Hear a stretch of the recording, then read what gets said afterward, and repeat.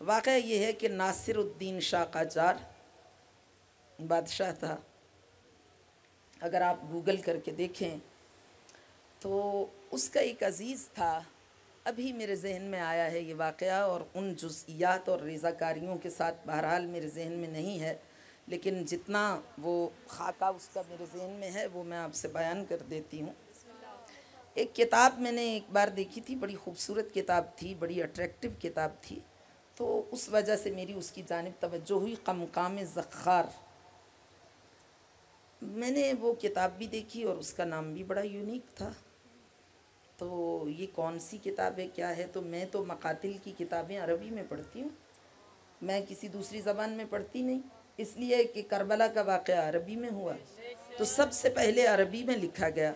अब तुलु सुबह क़यामत तक जो भी वाक़ करबला को जिस ज़बान में भी लिखेगा उसका असल माखज और मसदर तो वही है जो अरबी में लिखा गया। तो मैं बरह रास्त अरबी के मकातिल पढ़ती हूँ, मुझे क्या ज़रूरत है दूसरी ज़बानों में पढ़ने की? जो ऑथेंटिक मकतल हैं अरबी के, उन्हीं में पढ़ती हूँ, उन्हीं का तर्जुमा आके आपकी नज़र कर देती हूँ। मैंने कभी फ़ारसी, हालाँकि फ़ारसी मेरी अपनी ज़बान है, लेकिन मैंने फ़ारसी में भी कभी मकतल नहीं पढ़े।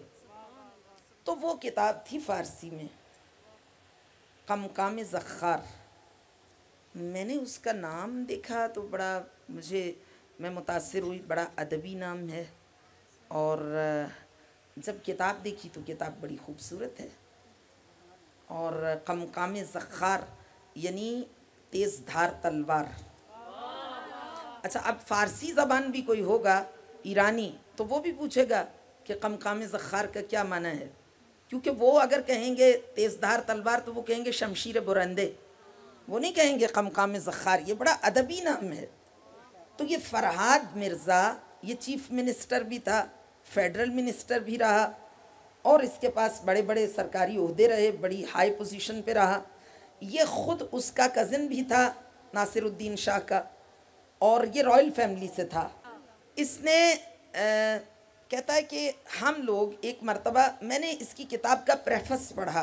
क्योंकि आपको अगर किताब कोई पढ़ना है तो पहले उसका प्रेफस पढ़ें ताकि पता चले कि किताब के मंदरजात क्या है। तो किताब के प्रेफस में इसने किताब लिखने की रीज़न बयान की और वो रीज़न इतनी इंटरेस्टिंग है कि मैं अक्सर उसको दोहराती हूँ, अपने दिमाग में और लुत्फानंदोज होती हूँ। ये फरहाद मिर्ज़ा एक प्रिंस है। रॉयल फैमिली का शहजादा बाद में ये गवर्नमेंट का हिस्सा बन गया। ये कहता है कि, अब देखिए, एक शहजादा ये बात कर रहा है। कोई आम इंसान नहीं है। उसके प्रेफस में लिखता है कि क्या बात बाइस बनी कि मैं ये किताब लिखूं? कहता है, ये किताब मैंने एक मन्नत की वजह से लिखी। एक मन्नत जो मैंने मानी थी, एक बड़ी मुश्किल कैफियत में। तो कहता है कि प्राइम मिनिस्टर का डेलीगेशन था फॉरेन ट्रिप पे हमें जाना था। तो उसकी कैबिनेट के कुछ लोग, जिनमें एक मैं भी था तो हम लोग गए किसी यूरोप के ट्रिप पे ईरान से। तो उस ज़माने में तो शिप्स पे जाते थे ना तो शिप पे गए। तो कहता है कि शिप का सफ़र हमने हमेशा किया, क्योंकि ज़ाहिर है उनको जाना आना तो पड़ता था फ्रीक्वेंट ट्रैवलर थे तो जाते आते थे तो शिप ही से जाते थे। तो कहता है कि शिप पे जा रहे थे और जब वापस लौटे तो कहता है कि इतना शदीद स्ट्रॉम आया। इस तरह का शदीद समंदरी तूफ़ान था कि मैंने अपनी ज़िंदगी में कभी उसका तस्वुर नहीं किया। इतना शदीद समंदरी तूफ़ान था कि समंदर की गुर्राहट इतनी ज़्यादा थी।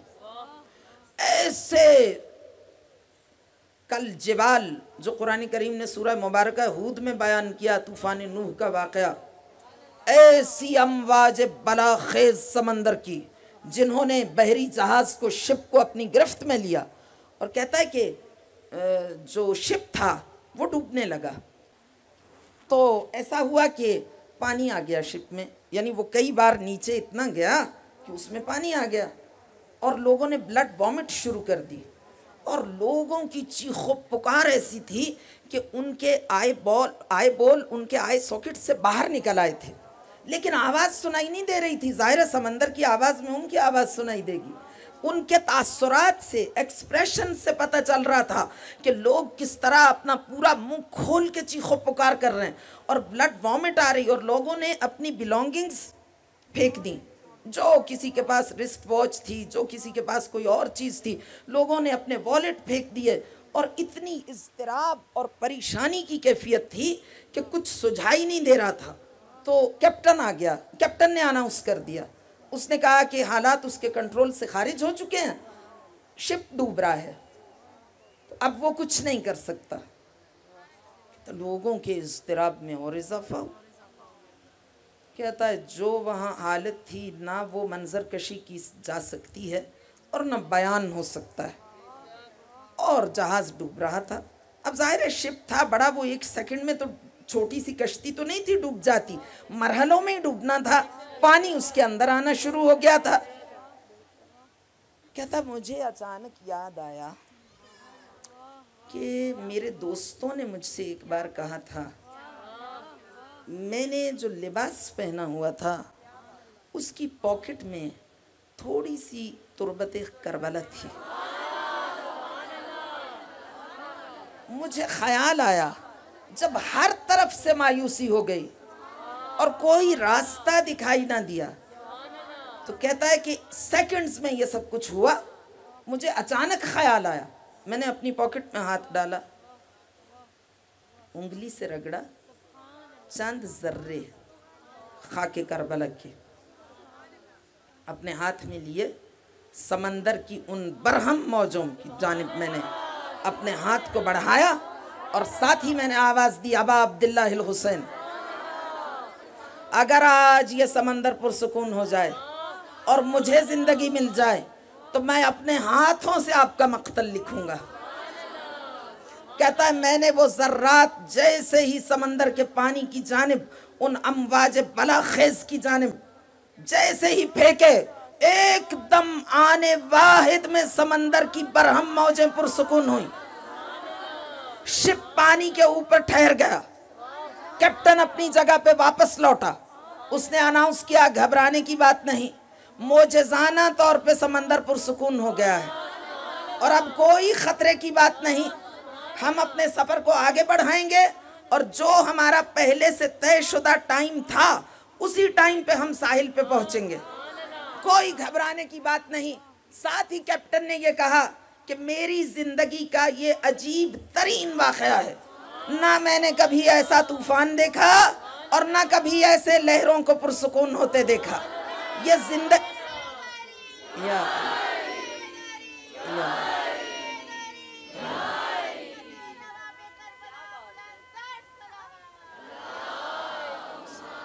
फरहाद मिर्ज़ा ने जब पहुँचे तो फिर मख्तल लिखा और क्या अच्छा मख्तल लिखा। जनाब आयतुल्ला नासिर मकारिम शिराजी ने उसकी तकरीज़ लिखी और उसमें उन्होंने कहा, मुस्तनद, मोतबर, सही, बरजस थे। ने कहा, इंतहाई, मुस्तनद भी है, मोतबर भी है, बेहतरीन भी है। बहुत अच्छा मख्तल लिखा फरहाद मिर्ज़ा ने। जिनकी खाके कब्र की ये तासीर हो वाह वाह के या अयत हतुरबा मौला कायनात ने जंग सिफिन की जानब जाते या लौटते हुए जब खाके करबला को देखा तो आका ने फरमाया था वाह के अयत हतुरबा कितनी खुशकिस्मत है तू खाके करबला। जिस खाक में, जिस खाक को उसके नालैन छू लें जब उस खाक में इतनी तासीर आ जाए, अन हमरान इब्न आयन अन्नहु क़ाल समिअतु अबा जाफ़र अलैहिस्सलाम युहद्दिसु अन अबीहि अन आबाइहि अलैहिमुस्सलाम अन्न रजुलन कान मिन शिअति अमीरिल मुमिनीन अलैहिस्सलाम कान मरीज़ा शदीदुल हुम्मा फ़आदहुल हुसैनु फ़आदहुल हुसैन इब्न अली अलैहिस्सलाम फलम्मा दखला मिन बाबिद्दार तारत अनहुल हुम्मा फ़क़ाल रजुल रज़ीतो रज़ीतो बिमा ऊती तुम बेही हक्कन हक्का रज़ी तो मा ऊती तुम बेही हक्कन हक्का फ़काल हुसैन इब्न अली अलैहिस्सलाम मा खलक़ल्लाहु शैअन इल्ला वक़द अमरहु बित्ताअति लना क़ाल फ़रअयतु व नहनु नस्मअु अस्सौत वला नरा अश-शख्स यक़ूल लब्बैक फ़काल हुसैन अलैहिस्सलाम अलैसा अमीरुल मुमिनीन अमरक अल्ला तक़रबी इल्ला अदुवन औ मुज़निबन लिकई तकूनी कफ़ारतन लिज़ुनूबिही फ़मा बालु हाज़ा फ़कान मरीज़ अब्दुल्ला इब्न हाद अब्दुल्ला रिवायत है हमरान इब्न आयन से और पूरी उसकी ऑथेंटिसिटी बयान की गई है, चूँकि अल्फाज, अफराद के इतने नाम नहीं लिए जा सकते। वो कहता है कि समय तो अबा जाफ़र आसम युहदसन अबी कहता कि इमाम ने बयान किया अपने वालिद से और उन्होंने अपने आबा गिरामी से। कि अन्ना रजुलन काना मिन शीअत अमीरमिन आसम एक शख्स मौला कायनात के चाहने वालों में से बीमार पड़ गया। मरीज़न शदीद अलहम्मा मरीज़ हो गया, बीमार पड़ गया और उसे हाई फीवर हो गया, बुखार हो गया बहुत ज़्यादा। बुखार की एक किस्म, बहुत शदीद बुखार हुआ। फ़ादहुसैन आसम फ़लम दखल मिम्बाद तारत अनहुलहम्मा फ़काल रजुल तहरब अनकुम वलहम्मा तहरब अनकुम। कहते कि इमाम हुसैन तशरीफ़ लाए। जब पता चला कि जाम बलब है, डॉक्टरों ने इनकार कर दिया है। बुखार की समझ नहीं आ रही और बाज़ बुखार होते हैं ऐसे। मैं हॉस्पिटलाइज थी, मुझे वहाँ पे कुछ नर्सिस थी जो सिर्फ़ मेरे साथ रहती थी। तो एक नर्स ने मुझे बताया कि प्राइवेट हॉस्पिटल था, बहुत महँगा हॉस्पिटल है यहाँ का। तो उन्होंने कहा कि यहाँ पे एक लड़की आई, जवान थी, बड़ी खूबरू, बड़ी गुड लुकिंग बहुत यंग एज में, उसकी छोटी छोटी बच्चियाँ थीं। उसको बड़ा हाई फीवर था। तो कोई तीन हफ़्ते गालिबा हॉस्पिटलाइज रही, लेकिन डायग्नोज नहीं हुआ, बुखार क्यों है? तो बिलाखिर उसकी डेथ हो गई। वो नर्स मुझे बता रही थी कि पूरा हॉस्पिटल अभी तक दो महीने हो गए हैं, उस सदमे की जद में है। इतनी खूबरू, इतनी प्यारी लड़की डायग्नोज ही नहीं हुआ क्या था? और डेथ हो गई। बसा अवत बुखार ऐसा भी होता। तो बहुत शदीद बुखार था। जब इमाम को इत्तला मिली कि बुखार बहुत ज़्यादा है और डॉक्टरों ने उसको लाइलाज करार दे दिया तो फ़ादहुसैन हुसैन अलीसम मीर कारवान करबला, सालार सरवर शहीदा, अबा अब्दुल्लाहुसैन उसके घर तशरीफ़ लाए। फलम्मा दखला मिम्बाबार तारत अनहुलहुम्मा फ़काल रजुल वलहुम्मा तहरब अनकुम रज़ी तो बेमा ऊती तुम बेही हक्कन हक्का वो शख्स कहता है कि जैसे ही दरवाजे से आका तशरीफ़ लाए अभी घर के दरवाजे पे तशरीफ़ लाए बुखार ख़त्म हो गया मरज़ बरतरफ हो गया शख्स सेहतमंद हो गया क्योंकि जब बुखार होता है तो बुखार में वो कैफियत नहीं होती जो बुखार उतरने पे होती है। वीकनेस बहुत ज़्यादा हो जाती है। मौत बहुत करीब से दिखाई देने लगती है। इंसान चलने फिरने के काबिल नहीं रहता। उसका बुखार एकदम उतरा, जैसे ही दहलीज में कदम रखा। और वो सेहतमंद तवाना बीमारी बरतरफ हो गई। बुखार के आसार भी ख़त्म हो गए। बुखार ख़ुद भी ख़त्म हो गया। फ़काल रजुल वो कहता है कि मेरा तो पहले ही ईमान है। बेमा ऊती तुम बेही हक्कन हक्का। जो तुम अहल बैत अतार को खुदा ने कमालत अता किए हैं, मैं तो पहले ही उस पर ईमान रखता हूँ। फ़काल हुसैन आसम मा खलक़ल्लाशैन वक़द अमरबित्तात लना। कहा कि इमाम हुसैन ने फरमाया, बखुदा, कायनात का कोई एक ज़र्रा ऐसा नहीं। जिसको खुदा ने हमारी इतात का हुक्म नहीं दिया। कायनात का हर ज़र्रा हमारे ताबे फरमान है। हमारी इतात हर ज़र्रे पे वाजिब है और खाली के कायनात ने पूरी कायनात के हर ज़र्रे को ज़र्रात आलम वजूद को पाबंद कर दिया है कि वो हमारी इतात करें। शख्स कहता है, काल। वो कहता है, नहनो नस्मा उसौत वाला नर शख्स। हमने एक आवाज़ सुनी। हमें एक आवाज़ सुनाई दी उसी वक्त, लेकिन कोई दिखाई नहीं दिया।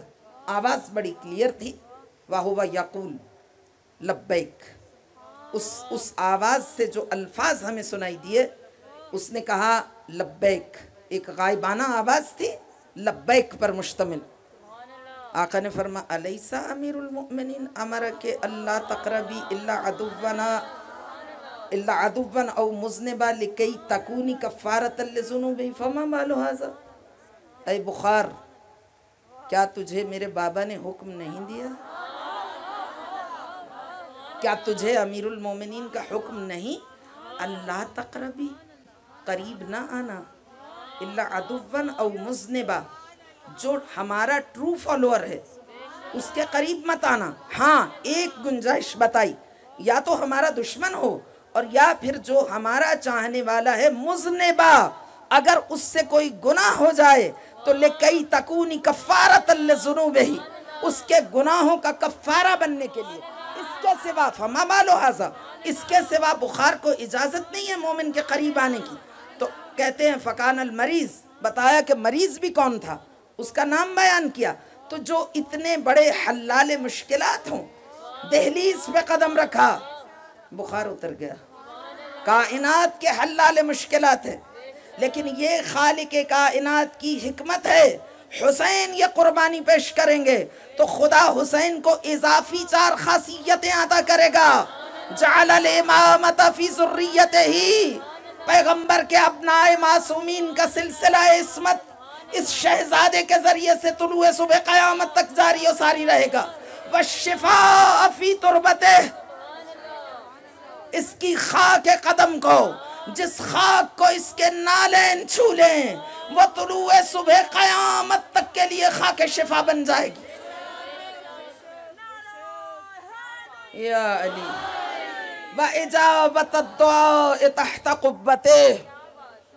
ये ऑथेंटिक रिवायत है। मैंने बजाते खुद इस पे बड़ी रिसर्च की है कि इसमें कितनी ऑथेंटिसिटी है। इजाबत दुआ तहतक़ुब्बत वो ख़ास मकाम जहाँ पर तावीज़ कब्र है मरकद मुबारक है, वो ख़ास मकाम, उसके ऊपर की जो छत का दायरा है, वो है कुब्बा मुबारक। उसके नीचे अगर ज़ायर पहुँचने में कामयाब हो जाए, फिर कोई दुआ रद्द नहीं होती। इजाबत दुआ तहतक़ुब्बत वला तो अद्दु